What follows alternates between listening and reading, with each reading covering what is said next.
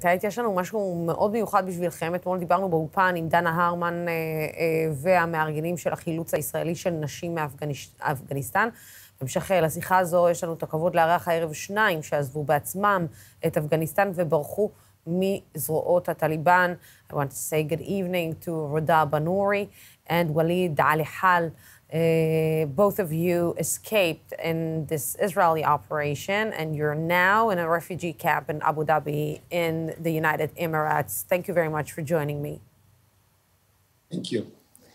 So, uh, first of all, Walid, uh, just tell me, how are you? How, how, how, how do you feel? Uh, first of all, thank you for having us. We're Fine, and I feel so good. Yeah we are very happy and we are safe and um, it's a, just a completely different life from the way we were living in Afghanistan and um, just leaving everything and just, just experiencing a new thing, new life uh, with new people, finding new, knowing new people from different countries. So it's just a new experience and um, this is just a start of a new life for us. Uh, Walid, try to take me back to the last days uh, of your stay in Afghanistan. Uh, the minute that you understood that the Taliban is taking control over the country and basically your life is in danger. Yeah. Um, I, I, I, got out from Afghanistan on 38th, the 2nd of uh, September, but and they, they took Kabul on 15th August. Um, and I didn't went outside of home. I was stay I was staying at my home for 15 days.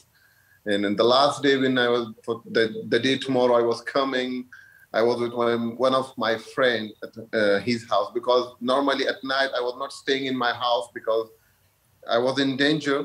So it was just the most horrible 15 days of my life. And I don't know how to explain it, but we never saw this kind of thing. We, we just, we never thought that this will happen to us and everything will go on in just a second. Um, I, I, I, don't know how to explain it, but it's uh, one of the most uh, worst days of my life. That those 15 days was in Afghanistan and staying in that situation was very, very uh, heartbreaking for me and my family. You left your some of your family or all your family is still in Afghanistan? No, some of my family they are in Albania thanks to uh, the beautiful and great team of Dana and her uh, great teams. They took uh, them to Albania and some of my family is here. But still some of them are left in Afghanistan and they are still there. What are they? Uh, are you in contact with them? Uh, what are you? What are they telling you about what is happening right now in, in Afghanistan? I'm in contact with them. I, I on daily basis I talk with them. They're okay, but they're scared. My sister are not going to school, and they're at home. My brothers are not going. They're they're scared since I was the oldest member of my family, and I had all responsibilities of my family. So now, uh, beside the lost their country, they lost someone who was guiding them for school and university and all so, no, so now he, I'm not with them. So they're scared, but still they have hope they will get out. Rudaba, uh, you're joining us uh, again, and we had some trouble with uh, your connection. Um, so tell me, first of all, how, how did you meet Dana? How did you know Dana? Uh, you know, about uh, four years ago, it was like 2016. Then uh, Dana just came to Herat City to visit the robotic team girls and uh, that time in a hotel i just met dana and from that time i'm in touch and i'm, I'm in contact with dana and she became my best friend and uh, we have so uh, you know um, close relation to each other. Rodaba, can you um, try to explain to me uh, or describe a little bit about the hope that you had uh, for women in afghanistan in the last few years just before the Taliban took control over the country? Uh, exactly. Uh, for women in Afghanistan, it was like uh, we all hope that these uh, women can go to a university, can go to a school, and they can be uh, they can be literated, and uh, they will stand by themselves and have their own work and salary. So uh, they we just hope for them that have their own freedom. But now I think um, everything just changed and one day, and now uh, the situation that uh, women had in Afghanistan before Taliban came, it uh, definitely changed to another way. And now they do not have their social right, they do not have their freedom, they cannot go to university or school, uh, they cannot con- continue their education. It's like they should stay in home and just uh, see what will happen for them for the future. Were you uh, afraid for your life, Rodaba? Uh, uh, yes, for sure. Everyone uh, or every girl, every uh, man also, they are afraid of their future. You know, uh, I was a medical student in Herat Medical Faculty. Uh, then when Taliban came to Afghanistan, before they took Herat city, it was like every um, you know, university was closed and uh, students couldn't go to uh, their classes and continue their lessons. So I was so scared about my future because it was like I just spent 12 uh, years in my school. I tried hard. I had lots of dreams, and if I wanted my dreams to become true, I must uh, work for it. I must uh, just escape from Afghanistan if I was uh, thinking about a better future for myself. Walid, you know, uh, you said uh, before that you couldn't believe that something like that can happen to you in your life.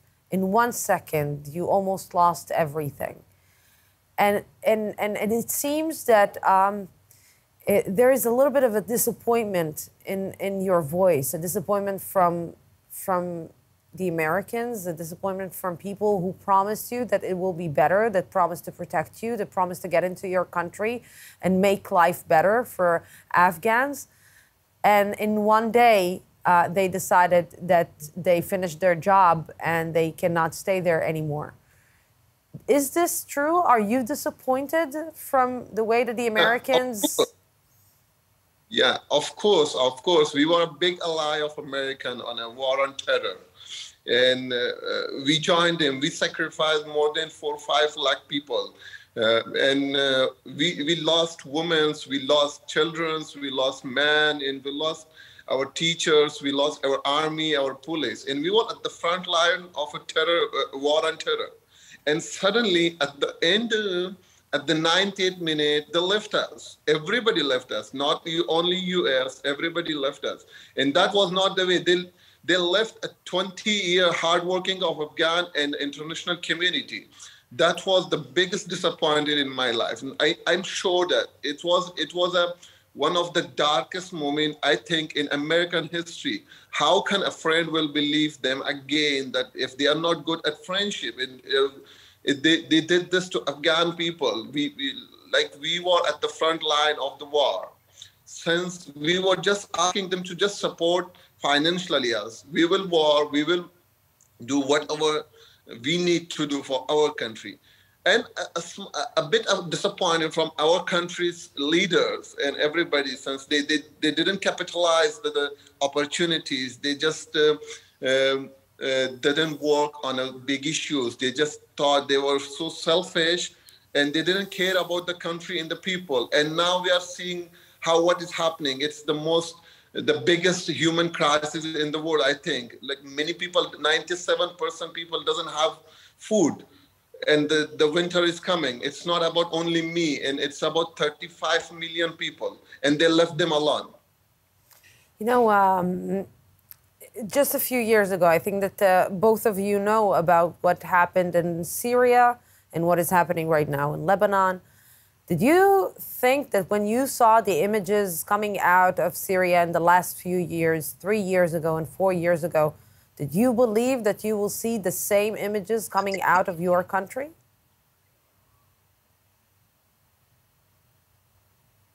Absolutely, absolutely. Like just we just look at the, the things that now it's happening. The, the, the ISIS is uh, um, getting stronger and stronger in Afghanistan. And uh, it is, I think it is a safe haven now. It become a safe haven for uh, terrorists and, and, and Al-Qaeda and other group terrorist groups. So I think, I'm sure that they will rise again from this country and it will be a safe haven for them.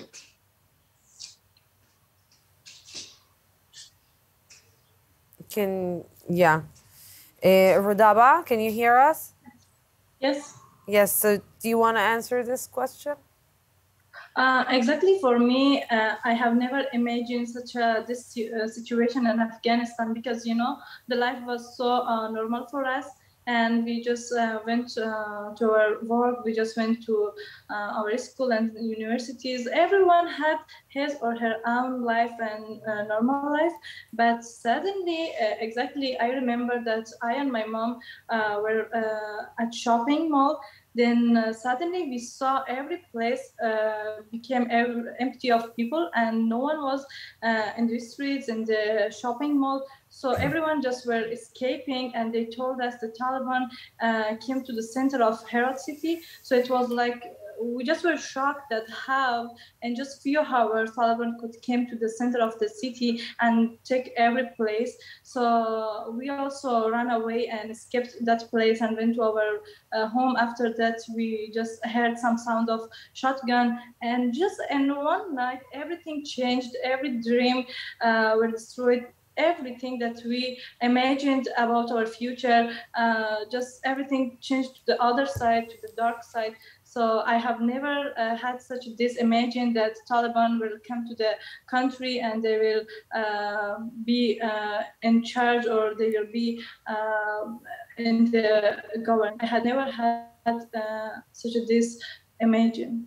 Uh, Rodaba, do you have family left in Afghanistan?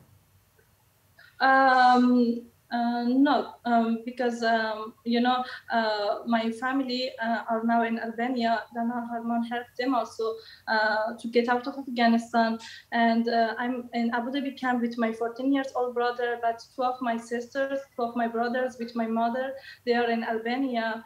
Uh, and uh, but uh, other of my friends, you know, my classmates, my relatives, all of them just stuck in Afghanistan. But hopefully, my family could get out of Afghanistan. And are you afraid that the women that were left there are going to pay a heavy price staying under the control of the Taliban?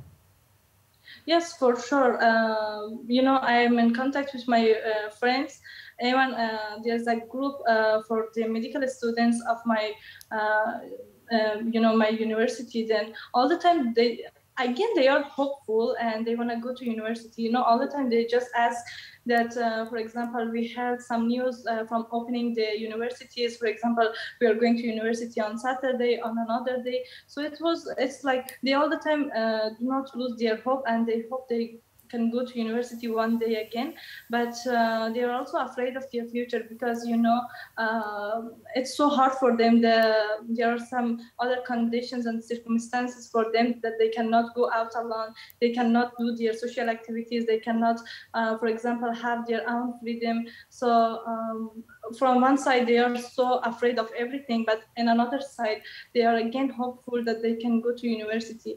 But uh, as i just um, follow the news uh, it's like i cannot see any bright future for them because now everything just changed and taliban promised for them that they can have their own freedom and they can do everything they want. But uh, months uh, many months uh, passed and uh, uh, they didn't do what they say to them and what they promised to them. Walid, if you have one message that you want, that you can uh, say or, or, or pass to the leaders that left you behind, what do you want to tell them? Uh, you know, uh, I didn't believe that they will leave us because uh, I all the time, uh, you know, uh, all the time, just our teachers told us that, for example, your leaders are like your fathers and mothers. So um, how a father can leave uh, his boy in a um, situation or in a condition uh, which is full of risk, and uh, I just want them that. Um, if I have any message to them, it was that uh, why you left us in a situation which no one could believe it, which no one was safe, and everyone was in risk. They just uh, saved their life, their uh, own uh, children life, and they just put all people back, uh, and they are all left behind. So. Um, because I just think they are like our father and mother, that they all left us and they just uh, rescued themselves. They saved yeah. themselves. Walid, do you want to say something or pass a message or say something to your leaders that left you behind?